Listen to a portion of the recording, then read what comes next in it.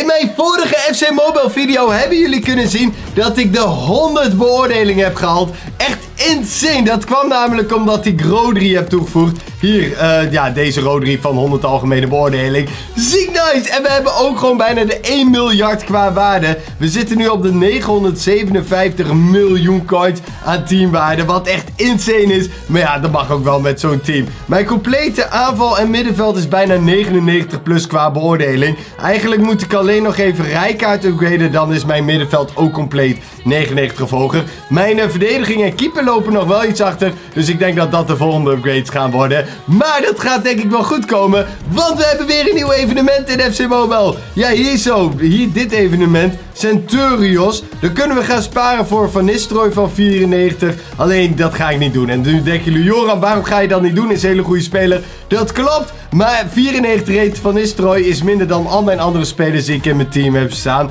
Ook als ik hem nog een paar keer ga upgraden. En hij is untradable. Dus ik kan ervoor sparen, maar vervolgens kan ik er niks mee. Dus dat gaan we niet doen. Maar deze game mode ga ik wel veel spelen. Ik heb namelijk al 500 punten bij elkaar verzameld. En dan kunnen we hier aan de dobbelsteen draaien. En dan kan je gaan. Tijdens die rondjes kan je allemaal rewards vrij spelen. Maar als jij drie rondjes bent gegaan, mag je al Mascherano vrij spelen. En als je uiteindelijk 18 rondjes bent gegaan, krijg je hier ook een 94 spelen. Hier een 93 tot 97. Dus je krijgt gewoon veel goede rewards. Dus deze game mode ga ik wel volop spelen. En die 500 punten van nu gaan we eventjes opmaken. Dus dat gaat leuk worden. We hebben natuurlijk nog een oudere game mode, de MLS, waarin we wat rewards kunnen gaan claimen. Oh ja, en bij de Champions League heb ik ook mijn eerste reward die ik kan claimen. Namelijk deze. Ik had in de vorige, of ik had vorige week 120 Champions League punten gehaald. Dan kan ik de allergrootste reward claimen, waardoor we een 90 tot 95 rated Champions League kaart krijgen. Ben heel benieuwd wie we daaruit gaan krijgen. Maar voordat we alle rewards gaan openen, doe even dat duimpje omhoog. Zouden we de 500 likes kanalen. Zou heel nice zijn als dat gaat lukken. En vergeet ook niet te abonneren en op dat belletje te drukken.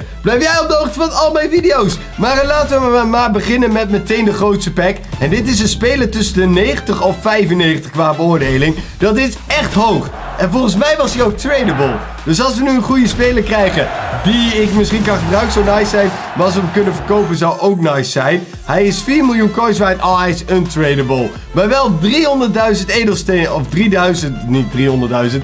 3000 edelstenen wat we er nog bij krijgen. Dus dat is op zich ook wel nice. Op zich vrij makkelijk gekregen. En als wij nu ervoor zorgen dat wij hier weer gewoon uh, goed spelen, kunnen we volgende week weer zo'n pack openen. Oh ja, en die kaarten kunnen ook nog uh, omhoog gaan qua beoordeling. Dus op het moment dat hun team doorgaat naar uiteindelijk de finale, kunnen ze nog drie ratings erbij krijgen. Waardoor de speler die we nu hebben gepakt uh, nog veel hoger kan worden als PSG het natuurlijk gaat halen.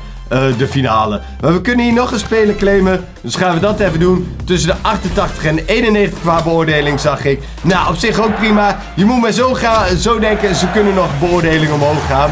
90 rated. Op zich niet verkeerd. Hij is wel een tweede bol, dus dat is wel jammer. En voor de rest heb ik hier geen extra rewards. Kwartfinales. Hier heb ik de rewards al geclaimd. Nou, in ieder geval nice dat we die speler er al bij hebben. Ik zat te denken, volgens mij hebben we hier bij Mysterie aankopen ook nog rewards die we kunnen claimen. En dan kunnen we hier nog twee Macherados krijgen. En dat kan ook nog. Jongen, we gaan echt door qua rewards. Dit wordt gewoon weer een hartstikke goede video. Want sowieso dat we weer heel veel rewards kunnen gaan krijgen. En die Mascherano's kan ik goed gebruiken op het moment dat ik mijn nieuwe keeper ga vrijspelen in de PES. Kan ik zo meteen ook even laten zien. Want ik heb namelijk de MLS PES gekocht. Ik ga nu wel voor Mares. Maar dan met die MLS pack, dan kan ik dan vervolgens... Oh nee, met die PES kan ik een keeper vrijspelen van 95. Ik ben even zijn naam kwijt, maar dat zorgt ervoor dat ik mijn keeper kan upgraden. Of nee, volgens mij had ik geen keeper. Volgens mij had ik centraal verdediger. Ik moet het even checken. Ik weet het niet meer precies. Je had de Champions League uh. Dat was hier deze. Daar kon je ook blak uit krijgen, maar die heb ik dus niet gekocht. Nee, ik heb de MLS PES gekocht. Uh, hier Nesta was het.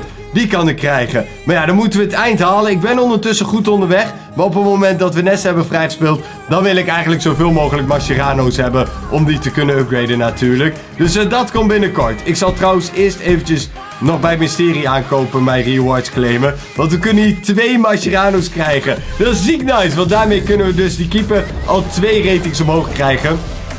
Dus dat is wel lekker meegenomen. We krijgen nu trouwens ook nog een Team of the Year. Is wel een tradable. En we wisten al dat die 90 beoordeling zou zijn. Want. Oh nee, hij is wel tradable trouwens. Maar een 90 beoordeling, dat wisten we al. Maar wel nice dat we die hebben gekregen. Met een beetje mazzel kunnen we die nog verkopen. Want ik heb op dit moment echt weinig coins. Dus alle coins die ik kan verdienen, ja, is chill meegenomen. Ik denk niet dat hij verkoopt. Nee, hij staat echt heel vaak op de markt. Ik zet hem er wel op en ik zie het wel. Ondertussen zijn wel allemaal andere spelers verkocht. Dus dan hebben we in ieder geval weer wat coins erbij.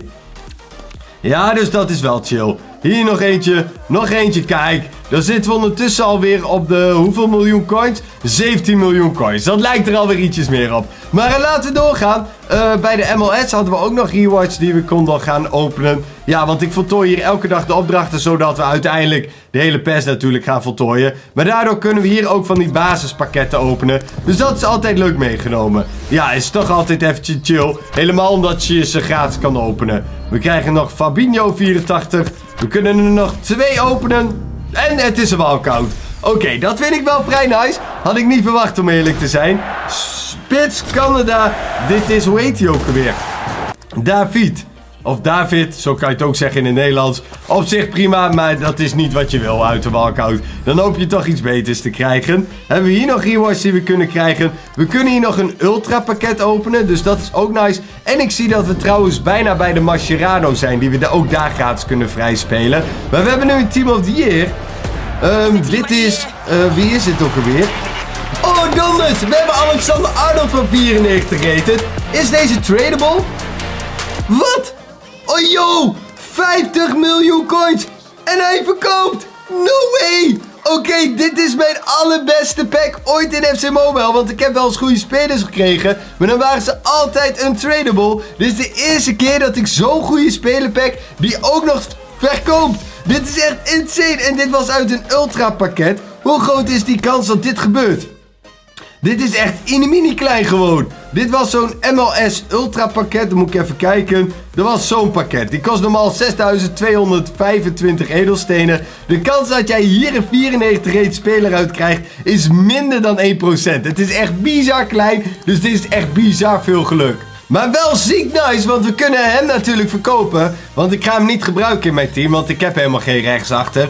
Maar als ik Alexander Arnold verkoop, ik zet hem gewoon voor 50 miljoen coins erop. Dan hebben we 50 miljoen coins erbij. Yo, dat is echt insane. Daarmee ga ik echt vet veel coins verdienen. En daar kan ik binnenkort weer goede spelers kopen. Dus dat is wel heel chill meegenomen. En dat voor een opdracht waar ik helemaal geen geld voor hoefde uit te geven. Of edelstenen of FC-punten. Deze hebben we gewoon gekregen door gewoon te spelen. Dus dat is wel echt ziek nice. Wat een geluk. Gaan we door naar de volgende. Want ik heb hier bij Centurios... hebben natuurlijk hier in totaal 500 punten. Waardoor we aan het dobbelsteen kunnen gaan draaien. In totaal kan ik dat 10 keer doen.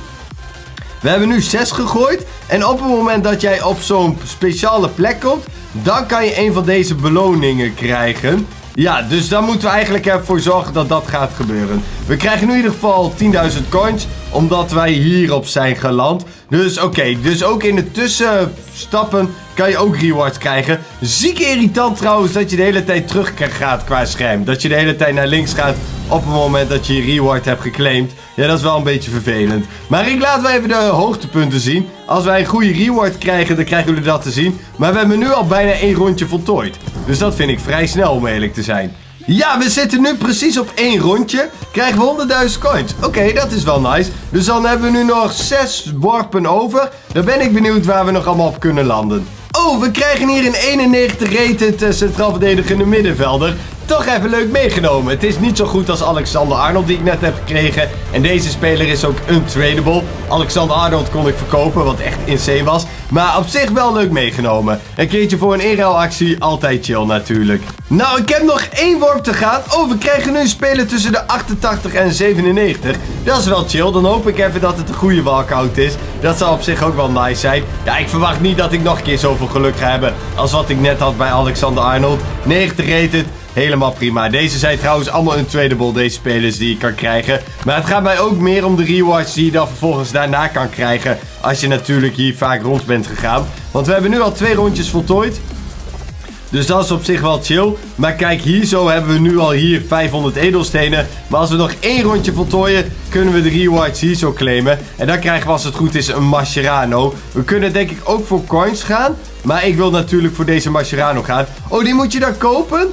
Oh, die moet je kopen voor 500 FC-punten of edelstenen. Oh, lol, ik had dat helemaal niet door. Ik dacht, oh, en deze moet je dan ook kopen. Ik dacht dat je die gratis kon krijgen. Nou ja, Maakt allemaal niet uit, dat gaan we dan misschien wel doen. Want uit mijn pers ga ik nog wel eh, FC-punten krijgen. Maar dat komt dan wel. Laten we eens kijken of ondertussen Alexander Arnold is verkocht. Ja hoor, hij is verkocht. 45 miljoen coins die ik er nu in één keer heb bijgekregen. Dan zitten we op de 63 miljoen coins die ik op dit moment heb. En stel ik wil een goede centraal verdediger kopen. Of een goede keeper. Dan zal ik even kijken hoeveel geld ik daaraan uit moet geven. Ja, want dan wil ik wel meteen een goede hebben van eigenlijk wel van 96 beoordeling. 95 is dan eigenlijk al te laag. Ja, dus stel ik wil jou kopen. En dan wil ik jou als 99 beoordeling hebben. Dan ben ik 100 miljoen coins kwijt. Oké, en ik ben ondertussen goed onderweg. Dus misschien dat het wel gaat lukken. Het enige nadeel is dat, bijna al mijn centraal verdedigers een tweede bol zijn. Company kan ik trouwens wel verkopen. Dus misschien dat ik dat nog ga doen. Maar ja, dat zien we wel in een van mijn volgende video's. Want deze video, ah, het is nu al ziek nice. Maar dit is echt bizar. Um, deze rewards, die claim ik binnenkort wel. Uh, Xabi Alonso heb ik niet zoveel aan. Nee, ik denk dat ik deze pers aan mij voorbij laat gaan. Ik heb de laatste tijd heel veel van die persen gekocht. Maar ik denk dat deze iets te veel van het goede is. Laat ik eerst maar eens voor, ervoor zorgen dat ik deze MLS-pers helemaal heb voltooid. Zodat we hier ook een gratis centraal verdediger erbij kunnen krijgen. Maar uh, voor nu laat ik het erbij. Ik bedank jullie voor het kijken. En dan heb ik tot slot nog mening te zeggen. En dat is natuurlijk, ik zie jullie later bazen. Heb jij ook zo donders genoten van deze video? Dan vind je de video die hier komt te staan waarschijnlijk ook wel leuk. Dus zeker weten even checken we uit. En uh, abonneer. Dan blijf je natuurlijk op de hoogte van uh, al mijn video's. Dan word je lid van de Bowser Army. Doei hè!